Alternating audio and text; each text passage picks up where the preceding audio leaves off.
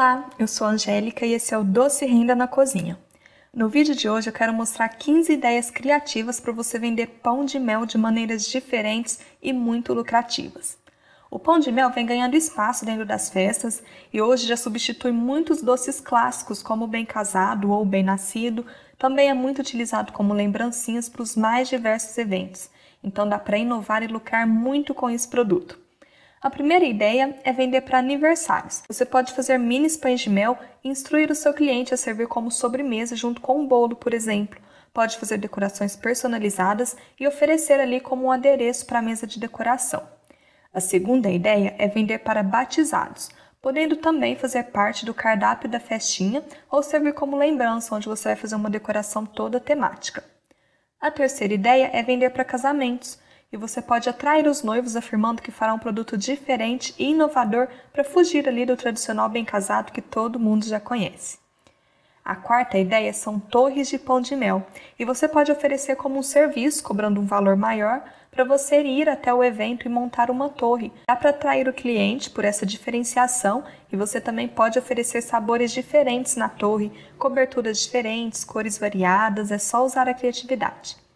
A quinta ideia é sobremesa. Você pode vender o pão de mel em tamanho família, talvez montando numa taça para um almoço de domingo. Pode criar pães de mel no tamanho de um bolo comum e vender por quilo, por exemplo.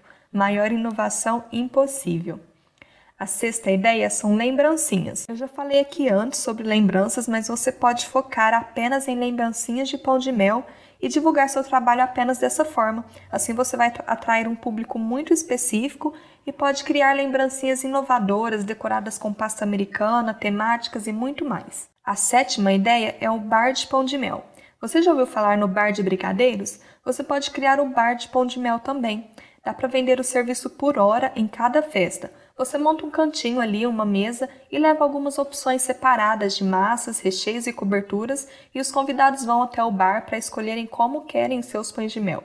Então você monta ali na hora, pode fazer um pão de mel no copo com a massa esfarelada, igual o bolo no pote, por exemplo. Fica muito legal. A oitava dica é a mesa de pão de mel. Seria como o bar, só que no entanto você não precisa ficar no evento. Você deixa ele mais ou menos organizado, massas, recheios, coberturas e os próprios convidados se servem como preferirem. A nona dica é o quiosque gourmet. Depois da febre dos quiosques de churros, sorvetes e até pipocas gourmet que a gente vê em shops, praças, você pode investir em um quiosque de pão de mel. É só pesquisar espaços para alugar em shops ou outros locais públicos aí na sua cidade. A décima dica é a bike gourmet. Também já tem muita gente que faz para brigadeiros e geladinhos gourmet e você pode lançar a novidade da bike gourmet de pão de mel. Estacionar sua bike em estacionamentos públicos, portarias de eventos. É só pesquisar certinho como funciona a legalização dessa ideia junto com os responsáveis pelo local. A décima primeira ideia são as vendas individuais, de porta em porta mesmo. Você pode ir em empresas, lojas, escolas, feiras essa dica vale para qualquer produto. Se você colocar na bolsa e sair para a rua, com certeza você vai vender bastante. É só ficar de olho no horário certo, no local certo onde você vai levar e como abordar as pessoas aí de uma maneira que não fique tão invasiva. A décima segunda dica é vender os pães de mel em workshops. Você pode oferecer para os organizadores do workshop por um preço mais especial, já que eles vão comprar numa quantidade maior, e para eles vai ser vantajoso, que é uma forma de agradar ali os participantes das palestras e você também vai conseguir divulgar a sua marca. A décima terceira dica é vender em lanchonetes. O ideal é que você ofereça a unidade já embalada e combine com o responsável como se fosse a terceirização mesmo desse produto. Ele pode deixar ali no caixa uma cesta com seus pães de mel para os clientes comprarem na hora da saída. A décima quarta dica é vender em restaurantes e você pode sugerir aos donos acrescentar os seus pães de mel no cardápio. Então você entrega para ele um formato maior que pode ser vendido em fatias para consumo ali junto com as refeições. Você pode até sugerir servir com uma calda quente, um sorvete, fica bem bacana.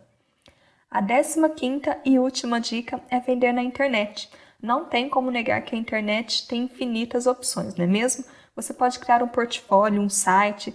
Faz o seguinte: pega todas essas ideias anteriores, monte cada uma delas, tire fotos e crie o seu site para divulgar todos os serviços. Eu garanto você que você vai se tornar a maior referência em pães de mel aí da sua região. Eu desejo muito sucesso para você Não se esqueça de clicar no joinha se você gostou desse vídeo, gostou das dicas que eu compartilhei com você. Aproveita para se inscrever no canal se você ainda não for inscrito e manda esse vídeo aí para os seus amigos, para alguém que você conhece, que tem vontade de trabalhar com confeitaria, para estar tá começando aí com pão de mel, que é uma ótima pedida e muito lucrativo. A gente se fala no próximo vídeo. Tchau, tchau!